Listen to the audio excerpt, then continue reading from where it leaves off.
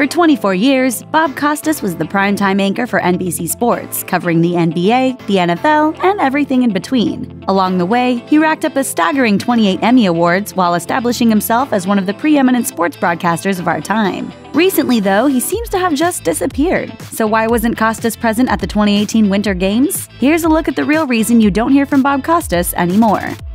Semi retired. In February 2017, Costas announced on Today that he would no longer be hosting the Olympics, passing the torch, get it, to another veteran broadcaster, Mike Tirico, who already had a couple decades under his belt over at ESPN. Now you're filling these shoes. And someone who uh, I grew up idolizing. But Costas wanted to make it clear that he wasn't ready to just fade away. This doesn't mean retirement or even anything close to it. It opens up more time to do the things that I feel I'm most connected to. Sacking the NFL. Costas has long been a critic of the sport of football, particularly when it comes to discussing the NFL's handling of pervasive brain injury issues. During an appearance on Real Time with Bill Maher, Costas said that NFL players' brains during collisions were rattling around inside the skull like a pickle inside a jar. And during an appearance at the University of Maryland, he doubled down, saying, The reality is that this game destroys people's brains.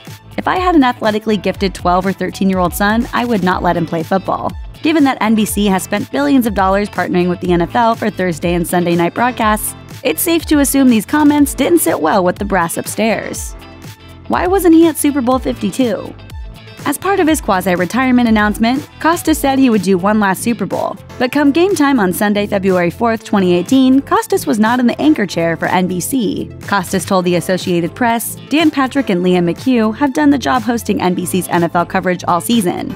It wouldn't be right for me to parachute in and do the Super Bowl. That sounded good, but Costas hinted at a deeper reason when he told Sports Business Daily that he has long had ambivalent feelings about football, so at this point, it's better to leave the hosting to those who are more enthusiastic about it. For those who believe there's a major rift between NBC and Costas over his comments about the NFL, it all just provided more grist for the rumor mill.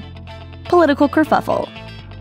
Costas ruffled even more feathers when he strongly criticized President Trump's decision to publicly attack Colin Kaepernick and other NFL stars, protesting police brutality among minorities.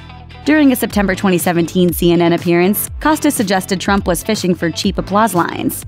Do you want a president of the United States who, even if you're giving him the benefit of that doubt, is so tone deaf to the racial implications of this? Costas went on to say that, in his own way, Colin Kaepernick, however imperfectly, is doing a patriotic thing.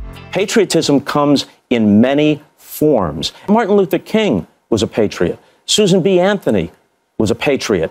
Dissidents are patriots. School teachers and social workers are patriots. Though many lauded his comments, some felt that the only time a sportscaster should talk about patriots is when they're discussing Tom Brady.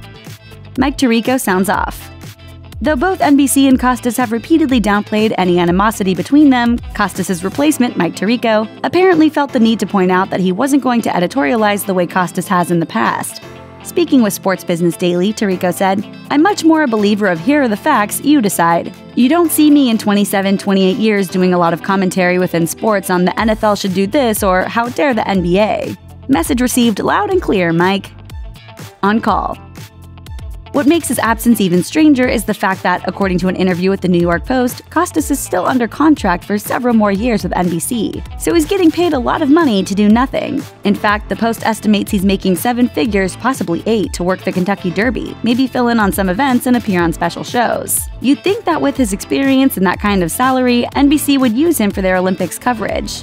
But Costas told the New York Times that the 2016 Rio Games were the perfect send off, as hosting the Olympics just doesn't hold that much interest for him anymore because of the way modern broadcasting works. I wasn't getting bored by it, but over time the formats changed a bit. At the beginning, it was more freewheeling and there were more spaces for me to contribute, and it became more tightly formatted as the years went by.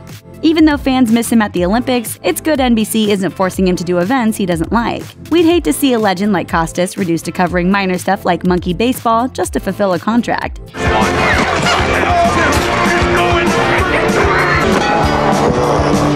Hall of Fame. In July 2018, fans will get to see Costas one more time when he receives the prestigious Ford C. Frick Award for Broadcasting Excellence during the National Baseball Hall of Fame and Museum Awards presentation. It's an extremely high honor, shared by only 41 broadcasters before him, which, according to the National Baseball Hall of Fame's official website, is awarded for commitment to excellence, quality of broadcasting abilities, reverence within the game, popularity with fans, and recognition by peers. So don't feel too bad for Costas. He may not be on TV as much anymore, but he does what he wants, says what he wants, and is a certified Baseball Hall of Famer. Sounds like a pretty nice retirement. I'd be rolling torpedoes, get blunted with Rostas, and for a hefty fee, I'm on your record, like Bob Costas. Thanks for watching. Click the Nicki Swift icon to subscribe to our YouTube channel. Plus, check out all this cool stuff we know you'll love too.